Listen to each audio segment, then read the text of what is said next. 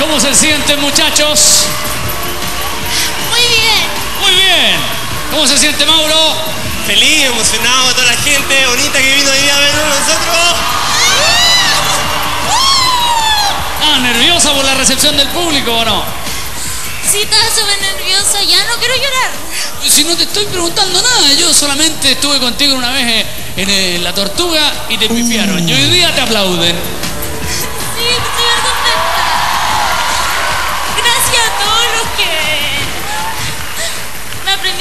De